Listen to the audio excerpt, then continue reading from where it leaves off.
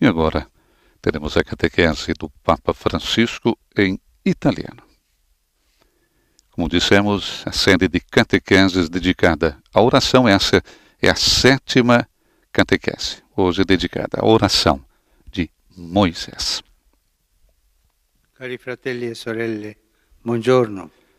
Estimados irmãos e irmãs, bom dia.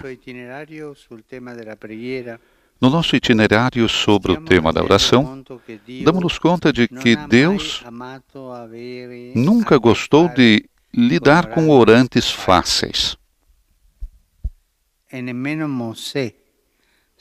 Nem sequer Moisés será um interlocutor fraco, desde o primeiro dia da sua vocação.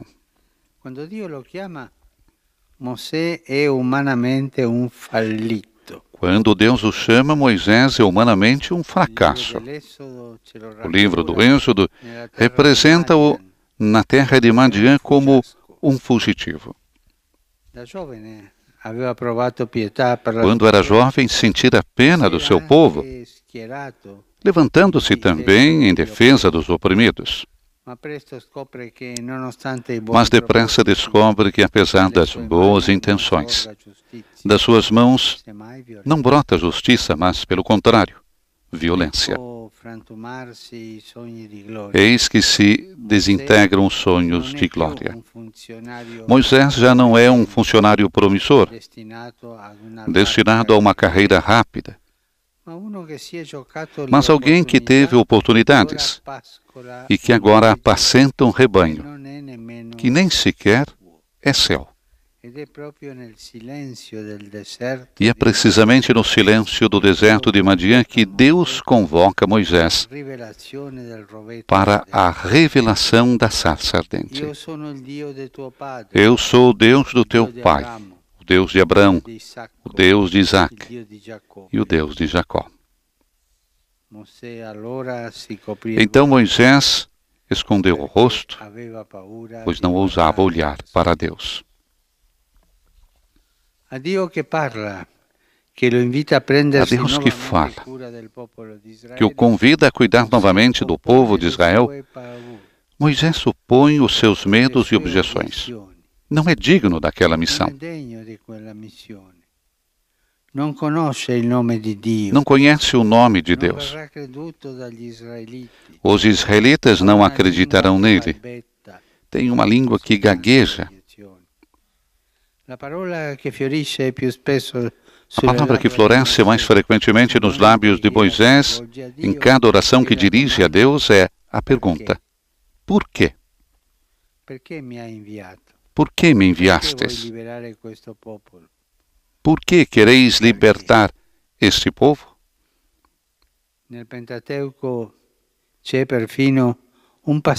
No Pentateuco, há até um trecho dramático onde Deus repreende Moisés pela sua falta de confiança, falta que o impedirá de entrar na terra prometida. Com esses temores, com esse coração que muitas vezes vacila, Mosè. como pode rezar Moisés? Antes, Moisés parece um homem como nós. Isso acontece conosco quando temos dúvidas. Mas como podemos rezar? Não, não vem a vontade de rezar. E é com a sua fraqueza e também com a sua força que ficamos impressionados.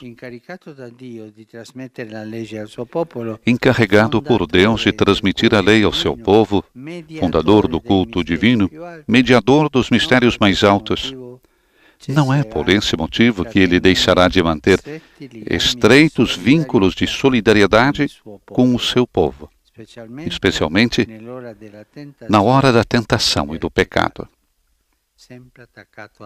sempre próximo ao povo.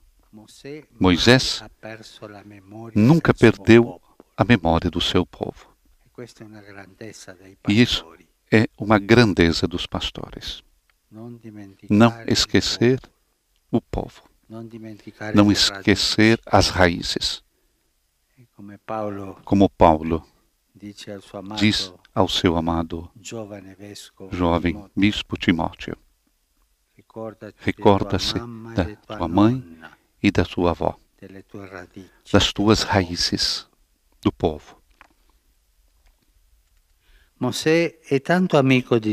Moisés é tão amigo de Deus que pode falar com ele face a face.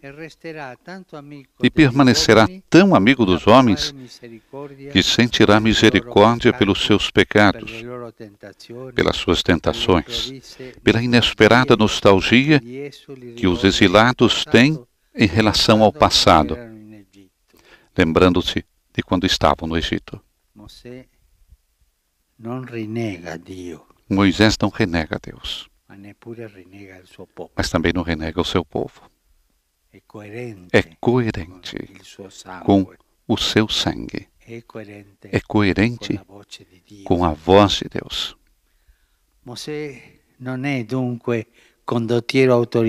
Portanto, Moisés não é um líder autoritário nem despótico. Pelo contrário, o livro dos Números define-o mais humilde e paciente do que qualquer homem sobre a terra. Apesar da sua condição privilegiada, Moisés não deixa de pertencer àquele grupo de pobres em espírito que vivem fazendo da confiança em Deus o viático do próprio caminho. É um homem do povo. Assim, a forma mais adequada de Moisés rezar será a intercessão.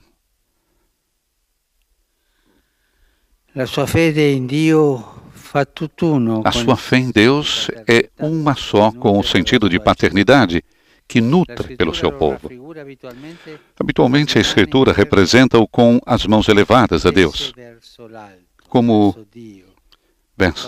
elevadas a Deus, ao alto, como se servisse de ponte com a própria pessoa entre o céu e a terra. Até nos momentos mais difíceis, até no dia em que o povo rejeita a Deus, ele mesmo guia, fazendo um bezerro de ouro. Moisés não quer pôr de lado o seu povo. É o meu povo. É o teu povo, o meu povo. Ele não renega não renega Deus nem o seu povo. E diz a Deus: Este povo cometeu um grande pecado. Fez para si mesmo um Deus de ouro. Rogo-vos que lhes perdoeis este pecado. Caso contrário, se tu não perdoastes, apagai-me do livro que escrevestes. Moisés não negocia o povo. É a ponte, é a intercessão. Os dois, o povo e Deus. E ele, ele está ali no meio. Não vende a sua gente para fazer carreira. Não é um que quer subir. É um intercessor pela sua gente, pela sua carne, pela sua história, para o seu povo e para Deus que o chamou. É a ponte. Que belo exemplo. Que belo exemplo. Para todos os pastores. Que devono essere ponte. Que devem ser ponte. Por isso, por isso se chama pontifex, ponte. Os pastores são pontes o povo ao qual pertence e Deus, ao qual pertence por vocação. Assim é Moisés. Perdona, Signore, il loro peccato. Altrimenti, se tu non perdoni, perdoai os pecados. Caso contrário, apagai-me do livro que escrevestes. Não quero fazer carreira com o meu povo.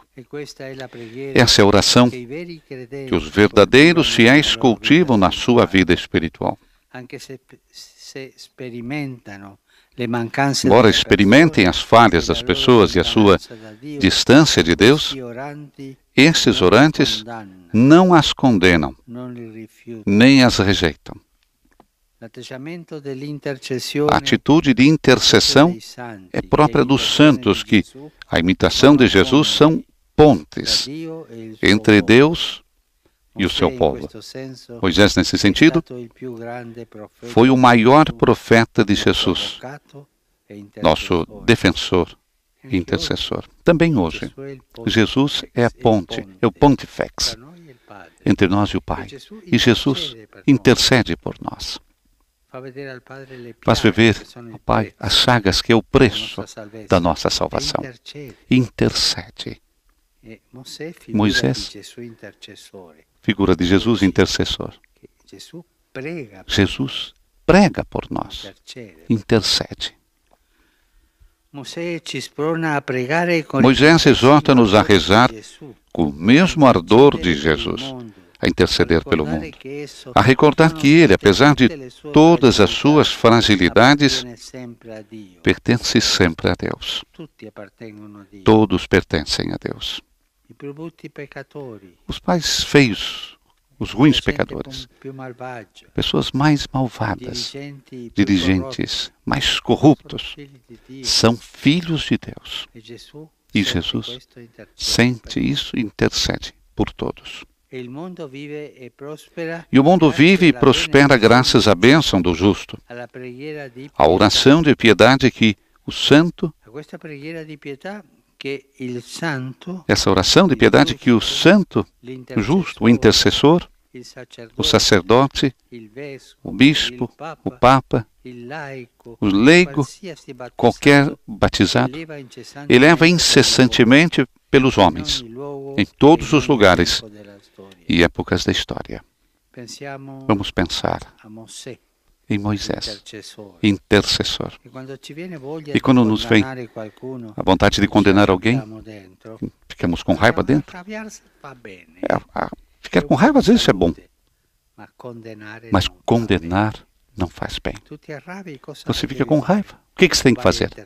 Vai interceder por ele. Vai nos ajudar muito. Obrigado.